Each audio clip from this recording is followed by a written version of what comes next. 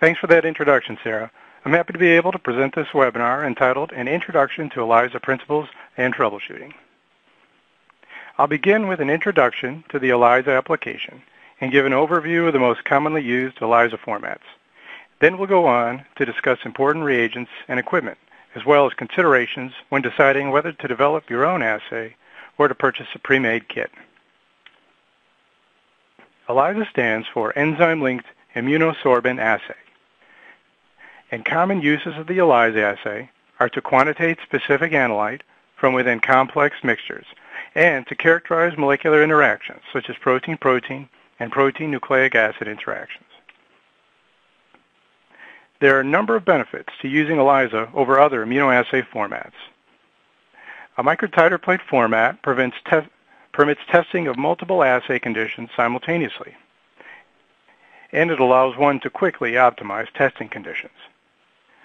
One can easily produce quantitative data with multiple replicates, and due to the small well volume, minimal reagents are required.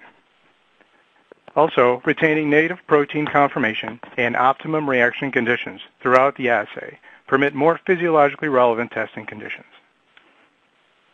It's important to note that ELISA does not pro provide certain information, such as a target's molecular weight or pattern of distribution within a cell or tissue.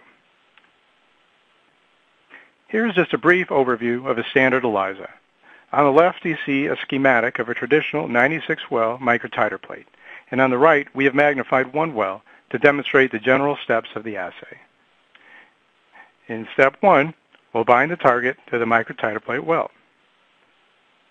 And in step two, we'll block the well to prevent unintended binding of subsequent assay reagents. In step three, we'll incubate the target-specific antibody. Here we show the antibody conjugated to a reporter enzyme.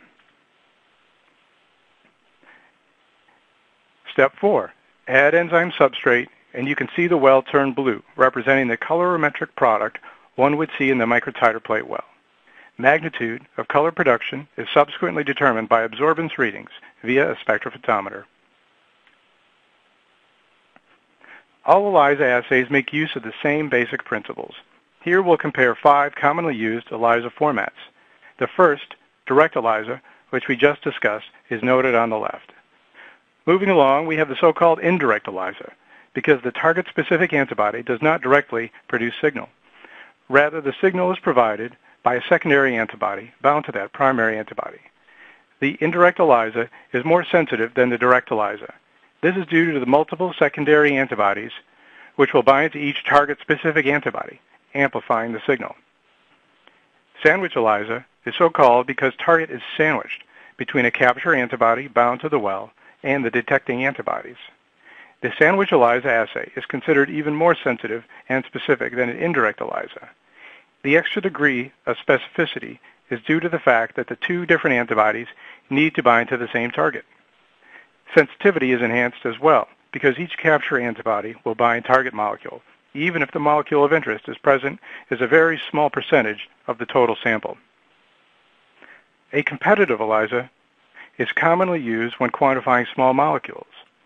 In a competitive ELISA, a labeled competitor molecule, which is otherwise identical to the target, is incubated with the detection antibody and sample.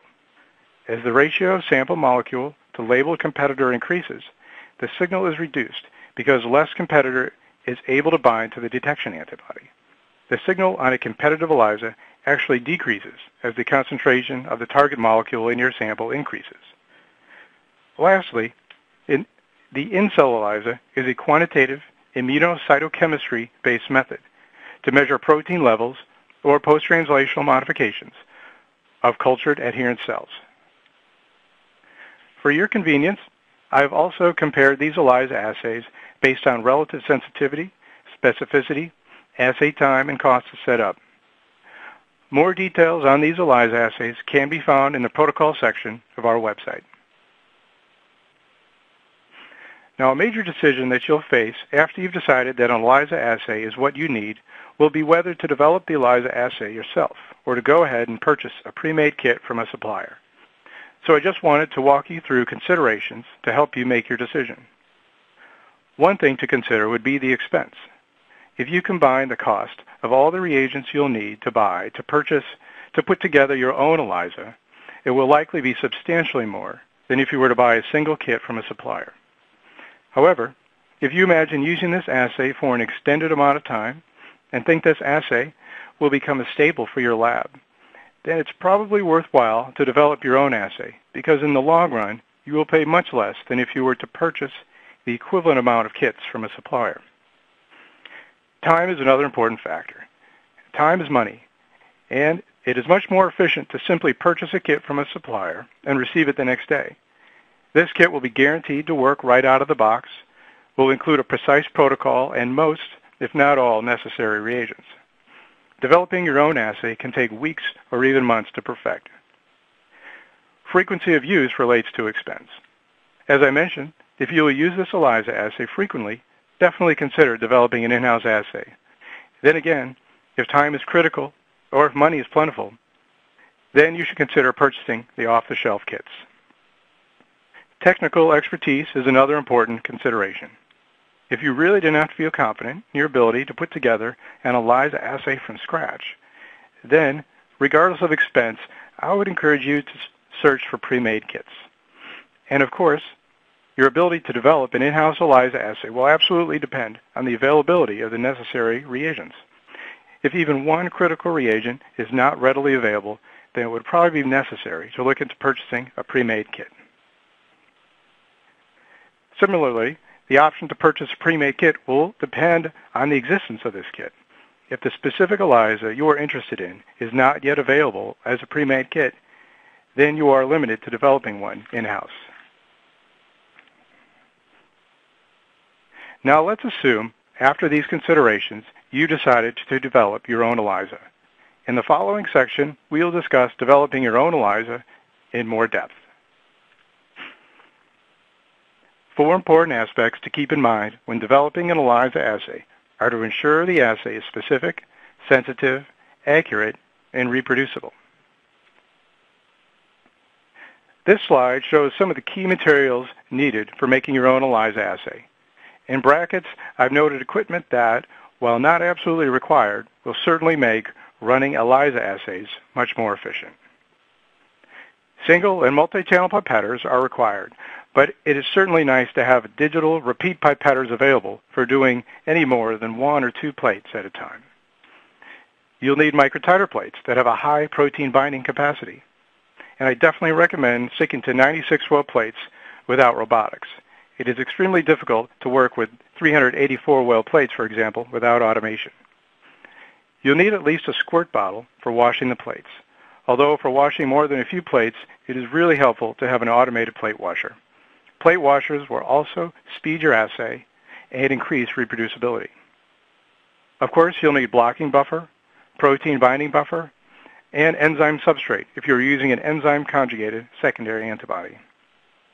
It's important to cover your plates to prevent evaporation during incubations.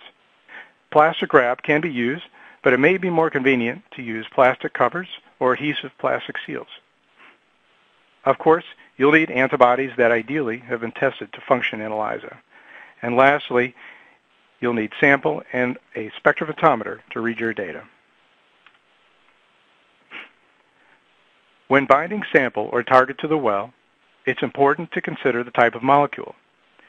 Typically, large proteins or antibodies are bound to a well, and these types of molecules will adsorb to the polystyrene well and retain their ability to be detected by the antibody.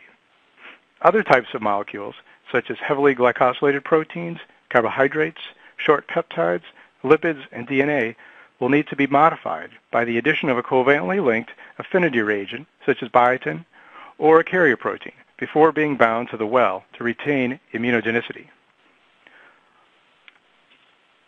Of course, antibodies are a key reagent when developing an ELISA assay. One thing to consider is if the antibody has been previously tested to work in an ELISA format.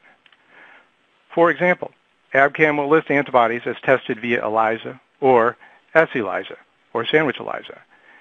ELISA refers to the use of the antibody as a detection reagent and sandwich ELISA indicates the antibody has been used as a capture antibody in a sandwich ELISA assay.